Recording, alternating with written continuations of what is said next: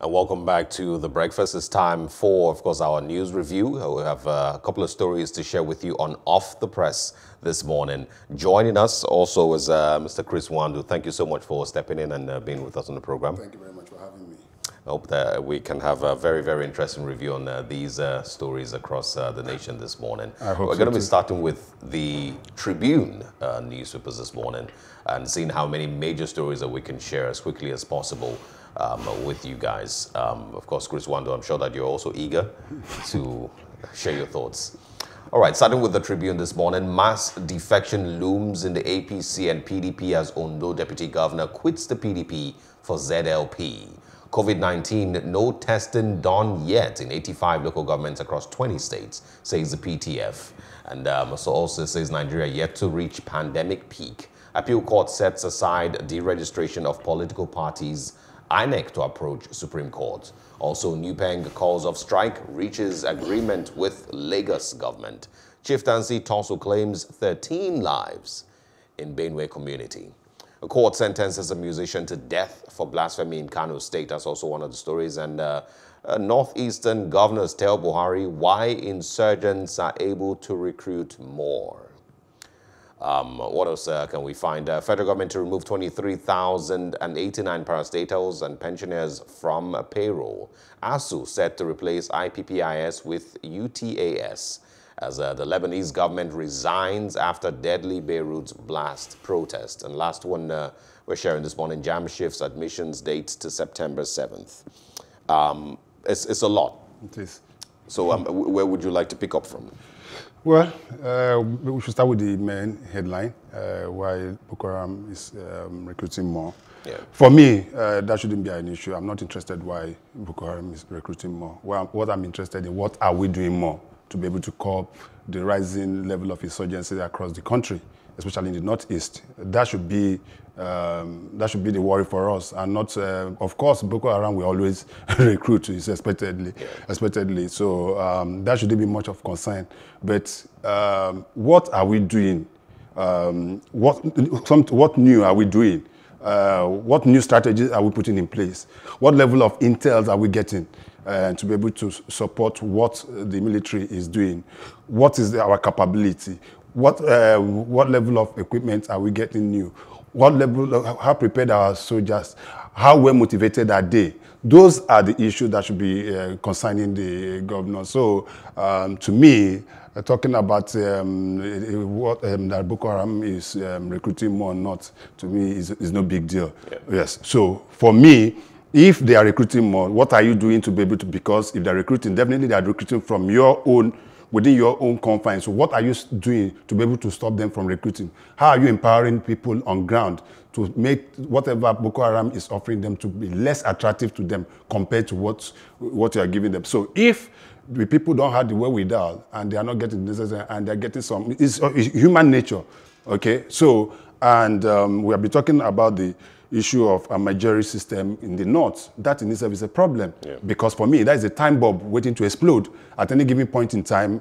Um, a hungry man is an angry man, and if you don't send these kids to school, they becomes a tool, easy tool for people to manipulate and use for whatever nefarious activities they have. So for me, the northern governors should think more, think out of. Um, think better and uh, more progressively on ways to be able to make sure that the fight against insurgency does not go beyond what we're having now. All right. Another thing that was also in the Tribune this morning, the deregistration of 22 22 political parties.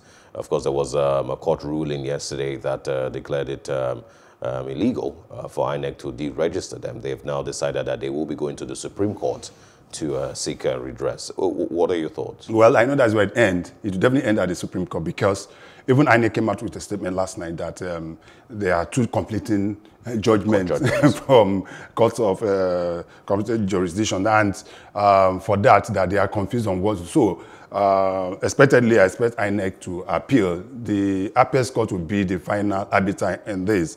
So, what is to be determined is whether the INEC has the power to deregister any political party or not, and what are the criteria to be used to deregister those political parties. I believe that the powers of INEC was well spelled out in the Electoral Act that established um, the INEC, yeah. uh, as well as um, the 1999 Constitution as amended. So um, we have to, it's not yet Uhuru, but both for the political parties and for INEC. But for me, my personal opinion is that I think we're having too many political parties uh, for me. And um, people just wake up any day and just say they want to register political parties, and that's where it ends. They don't go out co to converse for votes, or they just wait for the drop from INEC at, the, at, the, at any given election, um, the, stipends that are given out, or towards an election, they wait at the end of it, or two, about two, three days to the election, they say, oh, we are supporting um, this particular package, they all have yeah. come together. You understand what that's what they've been doing. Look at the presidential support, election. Support of, uh, the major, the yeah. major political parties, and the end of the they just disappear. Nobody is so. Um, I would be. I, I would go for a leaner political party platform so that people can have choice. Yeah. But the choice is not when you pull about 99 to 100 political parties. Even in, in Western, in the Western world, in the United States, there are so many political parties, but there are two major, major the Republicans and the Democrats. Yeah. We go to United Kingdom, the same thing, the Labour uh, Party and the other one. So um, I'm for I for one would rather think that we should go for leaner political parties so that people can be able to have the best of choices Better in options. terms of getting. Yeah. All right, so, let's so let's let's see what we can find on the uh, Punch uh, newspapers which uh, we have uh, coming up next. Uh, PTF blames governors for crowds at Edo rallies and uh, Kashamu's uh, burial. Also on the Punch this morning, Nigeria will become West Africa's gold producing hub, says the federal government. Uh, Itse Sagay's uh, tax salami panel faults suspects' testimonies against Magu. Oil marketing firms' revenues plunged by 204.52 billion naira. That's also on the punch. And deregistration ruling, INEC confused on judgment as it heads for uh, Supreme Court. Also this morning on the punch, resettling displaced residents will stop Boko Haram's recruitments, says Northeast governors. And post-UTME test begins uh, September 7th, says JAMB. That's also on the punch. Also, a few others that I would quickly also share. I have done what Mimiko couldn't do in eight years, says Akeredolu. That's also on the punch. Lagos SARS personnel brutalize and extort man for holding his brother's passport. For Oshiomhole, Edo State election is do or die, Governor Nyesom Wike says. And um, of course, uh, we took this earlier on the Tribune. 85 local governments in 20 states yet to conduct coronavirus tests, says task force. Makinde sacks works commissioner, uh, swaps two portfolios and gunmen killed 13 in fresh Benue community attack. Let's, there's so much on the punch this morning. Um, I think, you know, the, the, major one is the PTF blaming, um, of course, the governors for crowds at uh, burials and campaign rallies. Um, so, but you can just go ahead. We, we, let's see where we start from. Yes, um, let's start with the statement credited to the chairman of PAC, uh, Professor Sagay. Uh, is worrisome for me um, when you have um, you're in government and you're also criticizing activities. Uh, it shows some level of distortion within the government um, because um, Sagay is a, a, chairman of PAC, which is a, a government agency, and um, the the probe going on was set up by the presidency. You're also talking of the office of the attorney general. But, uh, there should be some level of synergy. We don't give a damn if once you are in government, you think you are in government you should drop your career of uh, an activist. If you want to be an activist, you come out, to, you resign your job. That is my personal opinion. You resign your job uh, as a member of the government and stand uh, and criticize. Yeah. So if if uh, Professor Sage, uh, Sage has any issue with investigation uh, panel and people invited and there are better channel of uh, way of channeling that. And being the chairman of, is he speaking as a person or is he speaking as a chairman of PAC? Because when you, you are chairman of a, a, a, an agency, whatever statement you make will be seen as being the position of the committee or whatever they are on. So that is my own. I think um, um, Justice Salami should be allowed to do his job. And when he presents, um, after the findings, make his presentation to the uh, uh, federal government, then we can talk. We can take it up from there. Then talking about COVID and uh, various crowds, is expected. Are you in Edo State um, and Ondo State and the rest of them where there are going to be election? How do you be able to cope that? INEC was going to come out with guideline. I don't know whether the guideline includes how political parties are going to conduct their rallies. If you understand what I'm trying Yeah. to say, how do you conduct your rally? Are you going to sit in the comfort of your house and say, everybody come on Zoom? Let us. it will be very, very difficult because they are going to canvass for votes and they're moving from one local government to the other. I don't know how that's going to pan out. Then to the burial of um, um, Senator Kashamu is a very, very sad situation because what we just seen is what panned out during the burial of um, um, Abba Kyari and some other uh, prominent Nigerians. And uh, I personally think that this thing should have. There's a protocol that the NCDC came up with on how people that died of COVID-19 should be buried, uh, buried. I don't know why we're not going through that. Why do we make it so open that we announce the day the burial is going to be taking place, who and people for people to rush in and the rest of them? Now the Google State government is saying that uh, people that attended the burial should go on isolation. How do you isolate them? Do you know who are you they are? How do you them? identify those that were there and how to? So it for me is, I, I think that we should be more proactive.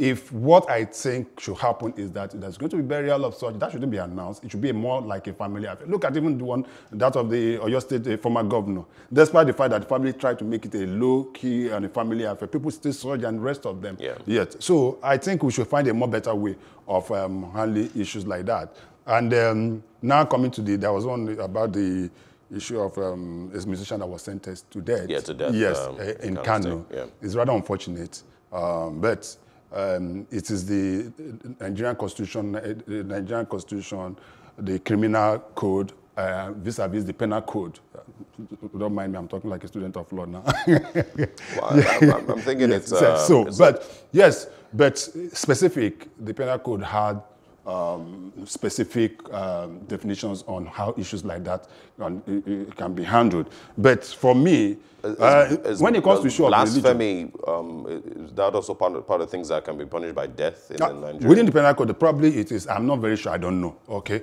but the fact is that um, we should also be mindful of our trances here.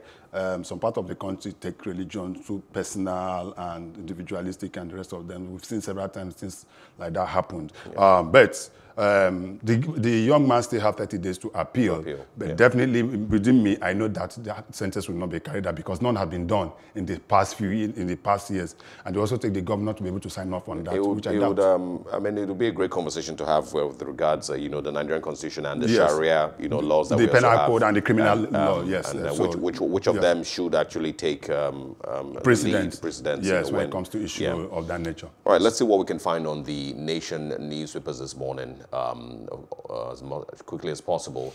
On insecurity, President Buhari blames lean resources and COVID 19. Ondo Deputy Governor joins ZLP, and also 95 year old survives COVID 19 in Oyo State. Varsity's admission to begin September 27th on, um, on Edo State, um, on Ondo State, once again, the governorship elections. Let peace reign, Obaseki urges opposition. Um, one or two others. Uh, poverty driving more people to join Boko Haram, says Zulum. Um, these are the major stories on the Nation newspapers this morning. 60% of COVID-19 cases in Lagos and FCT and Oyo State. Um, Rivers also says the PTF. Um, all right, I think these are the major ones. Governor's agenda is deceptive, says Ize-Iyamu. And uh, in those states, Tunji Ojo, Ojo leads uh, ZLP chiefs to back Akeredolu as the governor slams Mimiko for abandoning projects. All right, it's a lot. Uh, well, uh, let's go to Ondo. Um, the defection of the deputy governor from APC to PDP to now ZLP. Uh, the deputy um, chief Ajayi is turning to a rolling stone that uh, gathers seems not to be gathering anymore. yeah, so um, he was desperate enough to want to get the PDP ticket and couldn't get it. Now he's moving to ZLP. And um, just have few days and weeks before the election. I don't know how he'll be able to do that, but that's typical of our politicians. It, it's uh, governance and service is not about, must not always be about you, be at the head. You can always contribute to your own quota. Um, Chief Obafemi Awolowo tried severally to be president of Nigeria, but even at that, when he get it, he decided to become a statesman. And you could see his contribution to humanity years after he died. You understand what I'm trying Yeah. to say? Uh, his legacies are still there. So it's not compulsory that you must you must strive to be a governor, must to be a president, or strive to be a local government chairman and to be able to deliver um, people. But I wish him the best of luck. Um, back to insecurity, Buhari blames lean resources on COVID-19. Prior to COVID-19, what have you done about um, insurgency? Um, so um, it's just that um, COVID is becoming the fall, fall guy. Everything that happens now is now blame of uh, COVID-19. Yeah. But um, let us also look at it from the point that so much has been uh, spent um, in terms of these insurgencies. Uh, Our defense budget probably is the highest um, vis-a-vis other sectors. And um, so if we're budgeting that much for, uh, for security, uh, we should be able to get some results. So I don't think that um, blaming COVID, COVID for now should be blamed for the what we should be doing is trying to re- strategize. Chad are doing, Chad is already doing their own bit. Some other, the United States um, government came out a few days ago with an intel uh, intelligence report Yeah. on what is happening, ISWAP um, and other IS, IS, ISIS moving towards West Africa and Nigeria. We should be looking at those intelligence reports and see how we can be able to nip this in the bud rather than just blaming um, COVID and the rest of them. There is more we can do. And at the end of it, the buck will stop at the table of the president. So um, some people recently, as we go on, you will see that there's still more call for the service chiefs to be um, sacked. Are they to be sacked or not to be sacked? The president has made up his mind that he's not sacking them, but has given them new mandate to be able to make sure that they nip this in the bud. If they, they can, can they be able to do it? Let's just wait and see. There's also a story, you know, also um, in, in the same uh, space talking about uh, poverty being one of the reas mo- major reasons for uh, recruiting into Boko Haram or making people vulnerable to be recruited into Boko Haram. Um, if, you, if you put that side by side with the, um, well, ex insurgents that have been reintegrated into society and all of that, um, do you think that is a suitable process to get them away from that state of poverty and Poverty has always been with us and will always remain with us till eternity. Even to the end of this generation, poverty will we always have people that cannot be able to fend themselves Yeah. for themselves. You understand? But within that ambit, a criminal will always be a criminal. There are millionaire robbers. There are millionaire kidnappers. Is, Are we going to say that it's because of poverty that went into kidnapping? Definitely not. Some people, out of their personal greed, or for whatever reason that they, you understand, some people always go into crime. Irrespective, there are still, even within those, there are still those that are poorer than the so-called people that have been recruited. That, but why, did, why they refuse to be? So it's more of an individual thing, uh, and also societal value. Some people have lost um, the values that some of us grew up with. When you were just told, when you're growing up, please don't steal. When you go to school, don't steal the pencil. Don't steal the biro of your uh, classmate. Yeah. That is where it starts. Then our religious leaders have them been doing what they're supposed to do in churches these days instead of people of preaching that, oh, don't go against the, don't do that. The people, pastors are preaching about uh, influence, how to become rich, how to become. So all those kind of things, you know, that in itself propel people into going into certain things that not. Right. So for me, um, it's not about poverty. It's not about poverty. It's the fact that some people have lost their mentality on how to approach issues and able to uh, differentiate between good and bad. And when they've decided to go for bad, then there's nothing you can do about it. we can only but continue to talk to people to try to stay away from bad. That for whatever you do, there's always a price for it. And we should do, we should stop encouraging and reabsorbing people after they've committed some of this crime. And that is part of the problem we are having. If you understand what I'm trying to say. Yeah. Somebody killed for several days, so he say he is now repentant. Boko Haram, we're going to re, uh, you reintegrate him, or you're going to send him abroad for this. What kind of lesson are you saying? So any other person that wants to go into that, believe that if he's caught one day and he says he has repented, that's an issue. Let's see what we can find on the uh, Guardian newspapers this morning uh, as, as quickly as possible. Also, um, uh, major news headlines: Investors lose 2.63 trillion naira. Um, it says also stakeholders or shareholders to forfeit dividends as profits shrink. Cadbury, Total, and Unilever others record huge losses. Um, also on the Guardian newspapers, again, Nigerians tell President Buhari to fire the service chiefs, which you just mentioned. okay. Um, what else can we find on the Guardian? 13 killed in Benue over traditional stool. Also post UTME to begin in varsities and police, others by September 7th.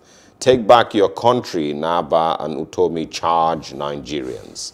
Um, and uh, of course, uh, The Guardian disowns fake Facebook page. Also this morning, a security meeting holds in Aso Rock, um, and of course that's um, with regards to storytelling uh, Nigerians asking the president to fire service chiefs. Ohanaeze tells the president also. Um, so I think we have um, a couple of stories that we haven't looked at here. The 13 people, and I, I would like us to start with this one, 13 people killed in um, a traditional um, crisis uh, in Benue State. Um, it's important because, you know, I feel like we, um, what, what would you say with regards naming certain incidents as tribal clashes and reprisal attacks?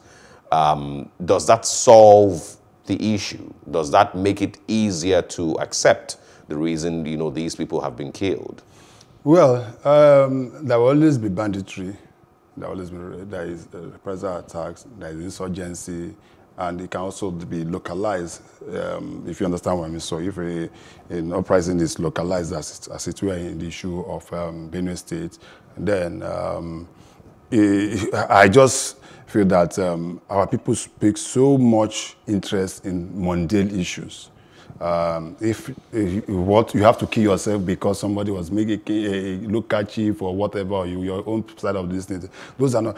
That, that is also the, our uh, poverty. Now we cannot take it to the poverty issue of poverty now. Yeah. Yes, um, this I can I, I, can use this to poverty. Part of it is because if you are gainfully employed, as you are here, I don't think you'll be concerned with the politics going on in your village.